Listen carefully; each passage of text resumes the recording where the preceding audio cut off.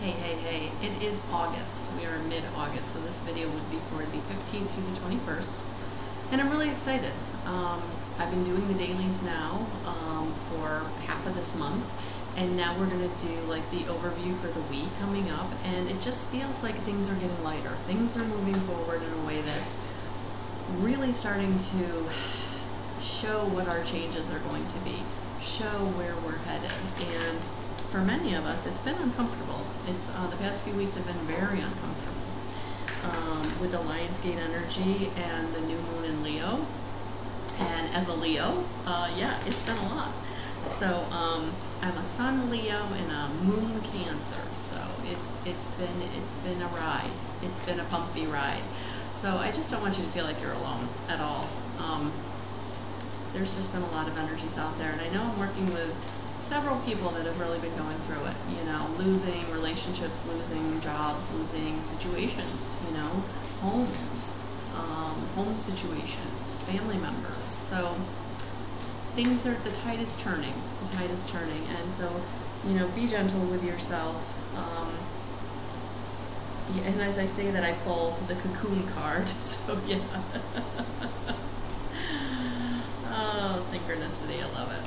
I love it. All right. So, I love it, I love it, I love it. Here we go. Because this is what's been going on. We are expanding our horizons. Nobody's staying the same.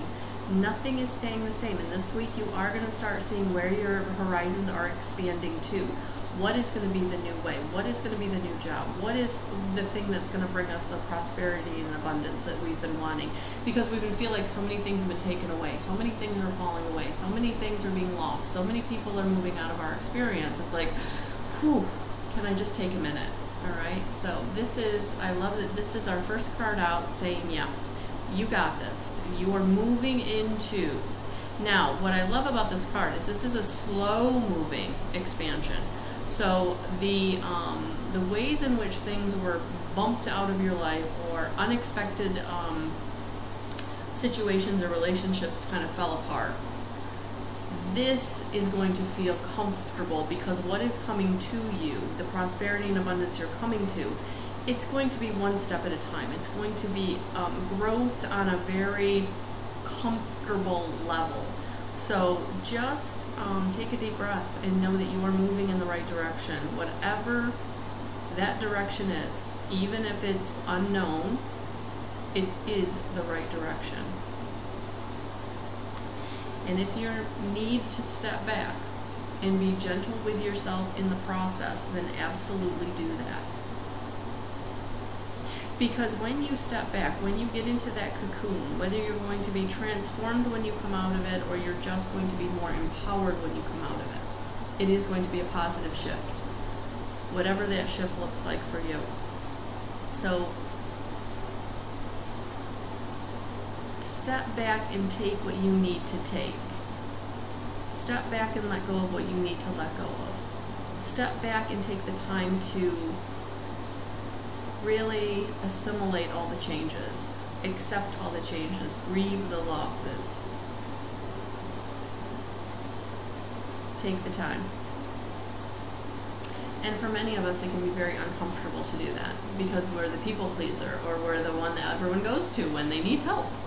And now you need to, to step back and really take care of yourself in a way that you can feel like it's okay. I got this. I'm going to be okay because you're going through it. There's no bones about it. It is the winds of change. They are here. So for many of you, it's uncomfortable. Change is always uncomfortable. Um, you know, change is the only thing we can really count on, and it always feels uncomfortable. But if you're trusting and you're taking the time you need to take, if you're cocooning so that you can um, take these changes as they come, and not get overwhelmed because you're not taking the time you need to take, then it is going to feel very uncomfortable. But if you're allowing yourself the time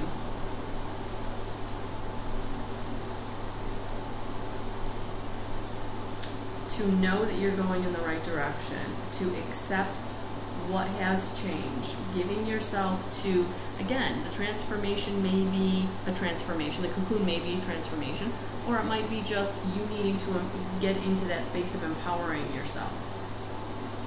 But things are changing. Nothing is going to stay the same. You are coming into this beautiful growth period, but growth can be uncomfortable because we have to prune. When we're growing, we have to prune back what, what is dead or what is hanging on. And sometimes that is um, scary because that's what's comfortable. But it, it can't stay. It can't stay. Because here it is. We are evolving and growing this week. Something is being brought to you that is going to help you evolve and grow in a way that you haven't done recently, maybe even for a few years, because this evolution and growth is not little, it's big. It's big. That's expanding horizons. Horizons are big, huge, overarching scenes.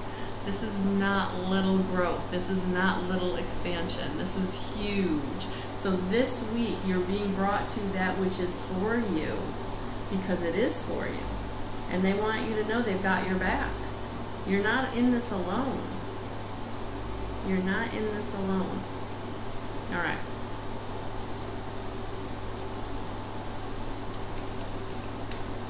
I can do this. I can, oh, there it is. I can do this. All right, let's take a look at this. I want to really, the beyond, the, oh, look at that, and it came right up. So it, they definitely want me to read this because it, they made it super simple. This card asks you to look beyond the physical world and become more aware of what you cannot see. The intangible is just as powerful as the tangible. Open your heart and mind to step beyond the veil and enter the realms of intuition, enlightenment, and illumination. It is here that you will be able to gain deeper insight, power, and healing in your life. Finding time to be still and to go within is essential. There's, this is where you will hear the whispers of the universe and your soul. You will be guided to take inspired action as you begin to trust your inner voice. Your life will start to reflect your newfound insights and energy vibration. Manifesting will become easier as you work behind, behind the scenes of the physical world. You will learn to weave the energetic frequencies of what your heart desires into your present vibration. Allow the feeling of what you want to create to grow within you as if it is happening now. All possibilities are there for us to align to and draw in when our awareness is expanded. By holding the intention of bringing flow, grace, and ease, you can influence relationships and situations more than your human self knows. This is done from a quiet space within, and you will need to disconnect from the world briefly and use meditation as the tool to help you. Get into that cocoon. Create and hold the vision of the outcome you desire and the highest good for all concerned. You are also called to embrace the energy of the divine feminine. Regardless of your gender, we all have masculine and feminine aspects, and part of being balanced is to balance these within ourselves and therefore our lives and relationships. Fostering your intuition, empathy, and compassion are good ways of working with the divine feminine.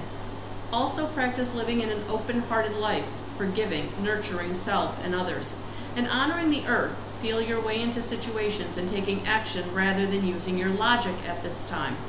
Emotions are the messenger of your intuition and are showing you the way. Follow your heart and walk between the worlds. Yeah. Yeah.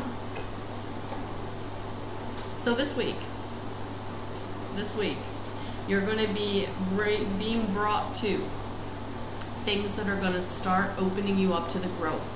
So whether it's the inspiration, whether it's the physical phone call, be open. Be open to spirit bringing you what it is that is for you.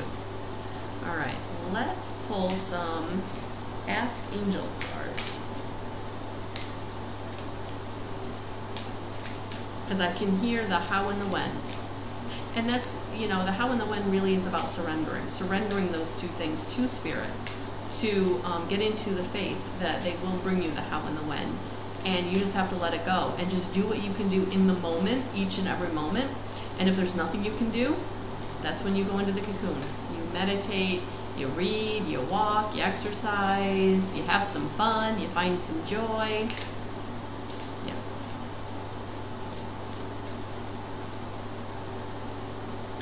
Oh, I love it. I love it, I love it, I love it.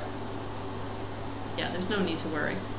Everything's coming at the right time, in the right way. All you need to do is surrender to the moment, surrender to the process. You got this. It's all good. It's all good. All right, let's get some advice to go with this. Let's get some advice, the angel guide.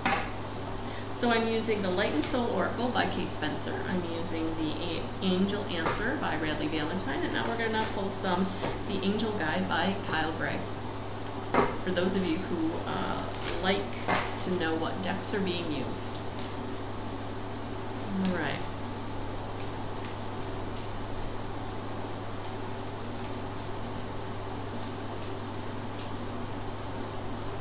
Ah, too too crazy. I'm actually recording this on um, Friday the 13th, and I actually picked, or not picked, uh, this card came out in my daily message. So if you've not looked at the daily message, I would absolutely invite you to do that um, for uh, Friday the 13th. All right. So, honesty and communication. Here is your advice for this week. You are being given an opportunity to speak your truth. You have reached a point on your journey where you must be honest with yourself and all of those around you. If you're holding anything in or feel you need to share something in order to feel free, know that your angel guide is encouraging you to act on this now. When you share your feelings and speak truthfully, you draw the support and light of the universe into your heart. If you are in a challenging position and find it difficult communicating what is in your heart, call in angels and ask them to support you. They want you to know that when you speak with honesty, you attract experiences that lovingly reflect who you really are. So when you're not speaking honestly or you're not speaking up and asking for what it is you need, my camera won't focus. There it is. It's because you've got some blockage in your throat chakra. So I would absolutely invite you to do a th throat chakra clearing meditation and to um, start to speak your truth from your heart space, not your head. Remember, the ego is the fear, heart is love. But if you're speaking honestly, authentically, and from your heart, you will be heard. If there's fear or ego behind what you're trying to speak, that is that is what they feel. They don't hear the words, they feel the fear, and then it can't be received as well. So practice it. Practice it in the mirror if you have to before you actually use it on the person you need to use it on. But this week it's going to be important. It's going to be important to be able to speak your truth and to honestly communicate what it is you need. And for many people that is really, really hard until you get into practice, all right? Especially if you've had your, your voice shut down um, because of some kind of um, abuse, neglect, you know, whatever it was, whatever it was. So that's what I've got for you for this week, and I think it's going to be a, a, a, big week as far as you know you being brought to things and and, and being um, knowing that what you're being brought to is for you. There's no need to worry, but it, it will feel uncomfortable because again, you can't be brought to what you've already been through. You won't get a different answer. You'll just go through the same cycle again. So yeah, whatever you're brought to is going to grow you and and make you feel uncomfortable because that is what is for you. But just know that when it's for you, there is no need to worry. You just have to surrender the how and the why and keep taking the steps forward little by little and you will get there. All right, so thank you for being here with me. Please like and subscribe. I appreciate each and every one of you. Thank you for being here, and I will talk to you soon. Bye, guys.